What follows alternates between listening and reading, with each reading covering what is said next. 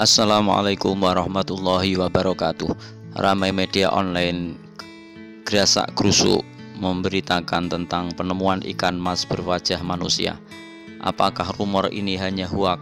Memang benar ikan tersebut mempunyai bagian tubuh seperti wajah manusia.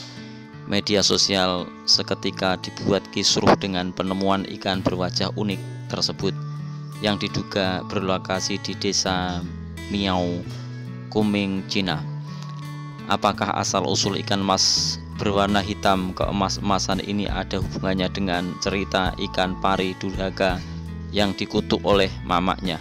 Atau jangan-jangan ibu si ikan ini adalah pelakor yang merebut suami orang? Sehingga lahirlah ikan haram menyerupai manusia. Entahlah seperti misteri ini tidak akan pernah dipecahkan. Dalam tayangan video, memang ikan mas tersebut wajahnya sangat menyerupai wajah manusia, memiliki lubang hidung, mulut, serta dua mata mirip manusia.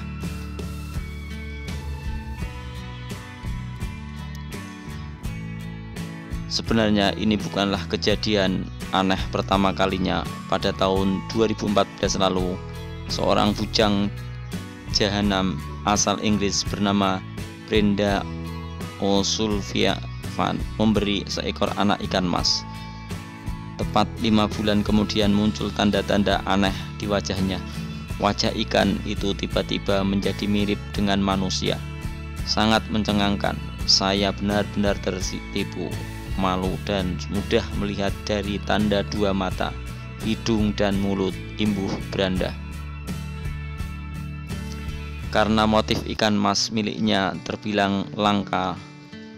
Ikan tersebut banyak yang menawarnya dengan penawaran tertinggi mencapai 40.000 pound sterling atau sekitar 716 juta rupiah.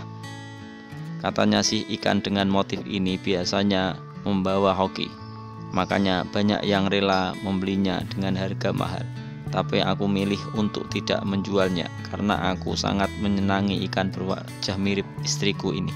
Eh, manusia maksudnya imbuh beranda sambil memamerkan belangko fotonya.